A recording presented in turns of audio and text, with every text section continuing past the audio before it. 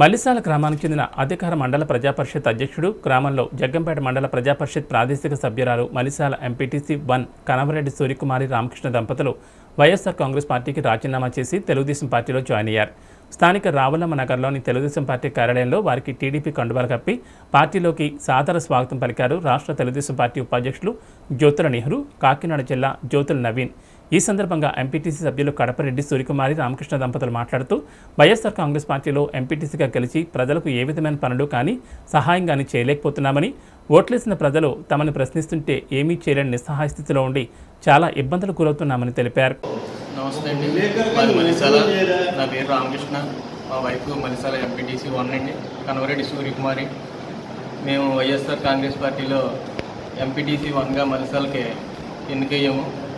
మాకు గ్రామ ప్రజలంతా ఓట్లేసి మమ్మల్ని నమ్మకంగా నెగ్గించారు.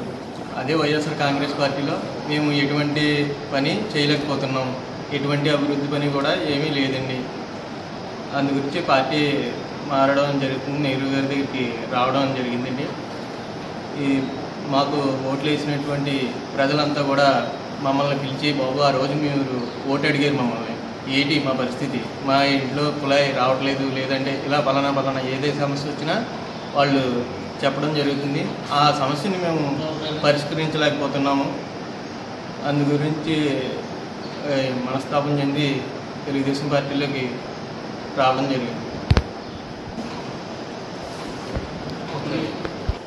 అలాగే మన జ్యోతుల నెహ్రూ గారి నాయకత్వంలో మన నియోజకవర్గం అభివృద్ధి చెందుతుందని ఇంకా ఇంకా మంచి పనులు చేసుకోగలమని ఆయన మాకు మంచి స్థానాన్ని కల్పిస్తారని నెహ్రూ గారి దగ్గరికి రావడం జరిగింది.